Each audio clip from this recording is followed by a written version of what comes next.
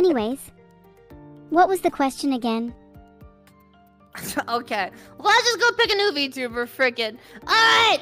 Up Dude, next, Hime. we're gonna put... Who else you wanna put? Um... How about Kurumi? So, Neuro-sama, this girl is something called a yandere. Do you know what a yandere is? A what? Okay, so a yandere is basically a girl who has a knife and she wants to stab you in the nipple.